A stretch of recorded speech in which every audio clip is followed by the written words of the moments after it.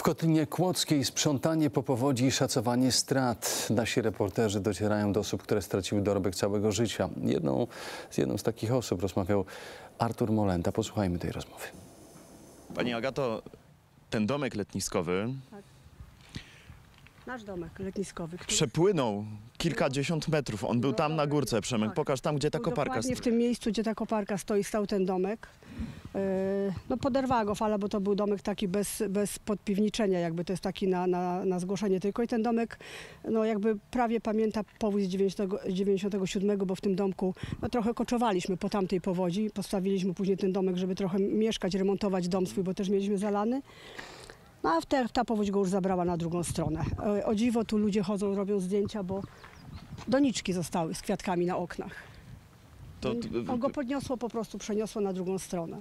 to wszystko bardzo przerażająco to wygląda. Jak idziemy uliczką, to, to To jest straszne. jakby to jest- apokalipsa was te dwa tygodnie temu nawiedzi. Tak jest, to jest apokalipsa. y, Mówię, przeżyliśmy jedną powódź, mamy teraz drugą powódź.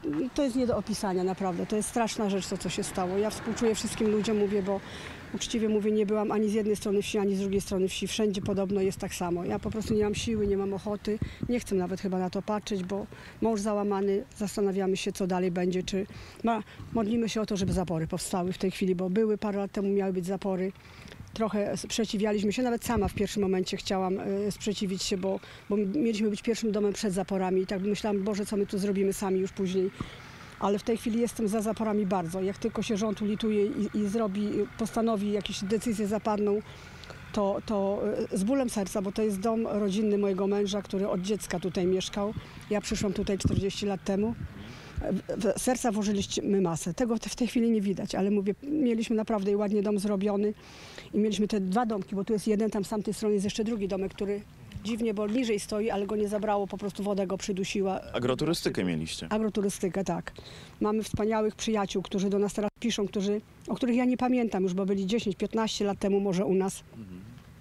Przy, dzwonią teraz, próbują się dodzwonić, piszą SMS-y, piszą, wspierają e, i słowem, i jakby finansowo nawet chcą, bo chcą, żebyśmy się szybko podnieśli, ale my nie mamy pojęcia, co będzie. Powiem wam, że z dnia na dzień e, momentami wydaje mi się, że już będzie lepiej, a później tracę jakieś nadzieje i światełko to znika, bo mówię, jeszcze ten piesek, który mi wczoraj zginął, malutki, mówię, ja go tak kochałam, że będę płakać teraz, mówię, jak własne dziecko, a samochód, wiem, że ten pan niechcąco, jeżeli, jeżeli to w ogóle będzie gdzieś kiedyś telewizja, on usłyszy mnie, że ja wiem, że on to nie zrobił celowo, bo on go mógł nie widzieć, to moja wina też, że go nie dopilnowałam, ale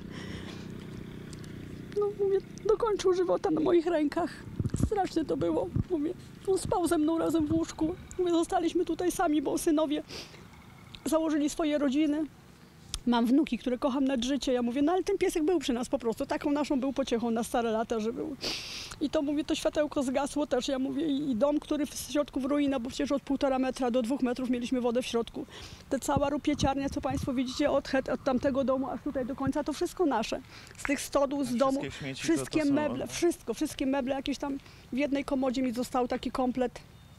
Pani Agato, a pani myśli o tym, jak będzie wyglądał powrót do normalności? Mm, Nie mam pojęcia, powiem panu. Ja nie wiem, po prostu nie wiem. Ja od 11, 11 września skończyłam 60 lat, 12 złożyłam papiery na emeryturę. E, Jak będzie, nie wiem. Po, powiem panu tak, że my się zaczynamy ogarniać. E, bo- To człowiek jest przyzwy... znaczy uczy się żyć i, i, i przyzwyczaja się do tego, prawda, co, co, co mu zostało dane. Było lepiej, były, mieliśmy sprzęt, teraz nie ma. No wczoraj mi jakiś taki zaprzyjaźniony pan e, z Jaszkowej przywiózł starą, bo starą, ale zmywarkę mi przywiózł. Mąż uruchomił jakiś, znaczy no mąż uruchomił, panowie z energetyki tutaj pracowali, z, mówię, przy naszym domu i na słupach uruch- dali prąd. Ten pan mi przywiózł tą zmywarkę, żeby, mówię, powyparzać to, co zostało.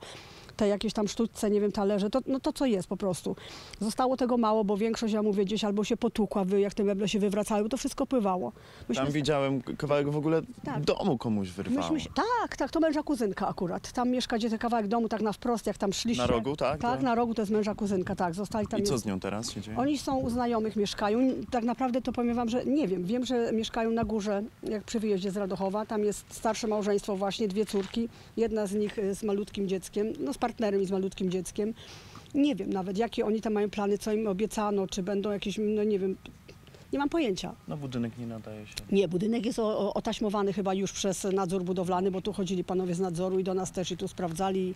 Także takich budynków jest kilka. Dużo siły tylko- chyba trzeba wam teraz No, ja te myślę, ja sobie popłaczę, powiem wam, ja sobie popłaczę, ponarzekam, ale jest, wiem, że jestem też mocna i znajomi mnie znają i wiedzą, że ja się też nie poddam.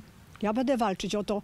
Nawet tu w którymś momencie bardzo płakałam, tu mnie też mm, tacy panowie przyjechali, bo tu jest z Wrocławia, z Gdańska, z Warszawy, ze wszystkich stron. Może być może dlatego, że wcześniej byłam w innej stacji z TVN-u, e, ale przyjeżdżają, pomagają wspierają, ale mówię, załamałam się, bo mąż powiedział, że on, mimo że to jest jego dom rodzinny, powiedział, on nie chce. On tutaj już po prostu nie chce. Druga powódź, mówi, on się po prostu już panicznie boi. On 40 lat tutaj pracuje. Tu każde, tu nie ma tych drzewek. Już byście widzieli, jak wejdziecie na stronę moją, była taka strona agroturystyka u Danika. Jakbyście zobaczyli ten ogród, on był przecudowny ten ogród. Ile tu było kwiatów, drzew, krzewów, wszystkiego. I to wszystko moją ręką zasadzone, wszystko koszone przez męża, przez synów. A teraz nie ma nic. To są zgliszcza. To jest, mówię, tak jak na Ukrainie w tej chwili chyba. Tak jakby tu bomba strzeliła. I ja mówię, doświadczyło nas tak samo. Naprawdę ciężko. Tak to wygląda. Naprawdę. Wygląda przerażająco. To już teraz nie wygląda przerażająco, proszę pana. Teraz to już jest, mówię, tu wyglądało przerażająco te dwa, trzy dni, dzień po powodzi. Pani Jak Agato, wracali, nie wiedzieliśmy, czy wrócimy w ogóle, czy mamy do czego wrócić. Jak myśmy w nocy uciekali wcześniej górami tam przez, przez łąki koło cmentarza z domu. Dużo siły wam życzę w takim razie, bo podniesiecie się Podniesiemy. e, Ja wiem, że się na pewno. podniesiemy. Kwestia czasu. To jest, mówię, to E. tak, czas leczy y, rany, leczy ból. Tak. To wszystko, człowiek do wszystkiego da radę. Tu powiem wam, że w kościele byłam, jestem osobą akurat wierzącą, byłam w kościele w niedzielę. Jakiś pan strażak do mnie się dosiadł, bo usłyszał. Tam i ludzie współczuli, ci, co zostali mniej do, poszkodowani. I ten pan, straż, pan strażak mnie przytulił i mówi, będzie dobrze, mówi, nie? Ja mówię, no nie będzie, wie pan, dobrze. Ja mówię, bo nie ma domu. On mówi, wie pani co, ja cztery lata temu straciłem żonę, zostałem sam z dzieckiem. I ja mu wtedy powiedziałam, ja mówię, to ja nie mam prawa narzekać. Nie mam prawa, mimo że, by, że ten dom mi zabrało, zabrało, no za, za, zniszczyło go doszczętnie prawie, ale ja nie mam prawa narzekać, bo ludzie mają większe tragedie. Nie mają właśnie, stracili rodziny własne, nie? Stracili, nie wiem, może nie wiem, dziecko jakieś, tak? Może stracili żonę, męża, dziadka, kogoś tam. Ja nie mam prawa narzekać. Dużo siły. Wszystkiego najlepszego.